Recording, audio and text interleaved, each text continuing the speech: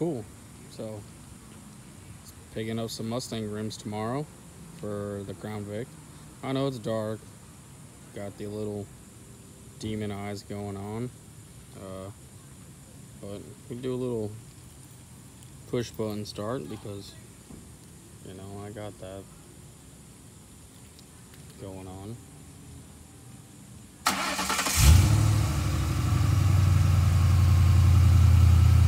Thinking about changing the uh, ambers to white.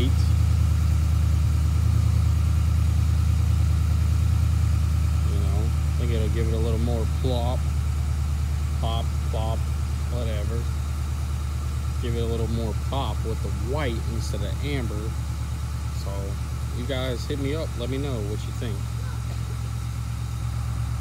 Trying to trying to do some different things with a Crown Vic.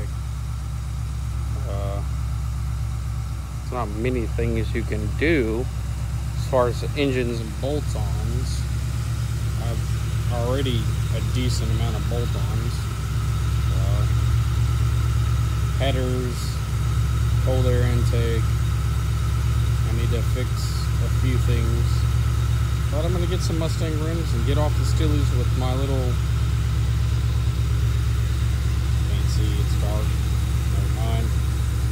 But you know, my Steelies that have beauty rings.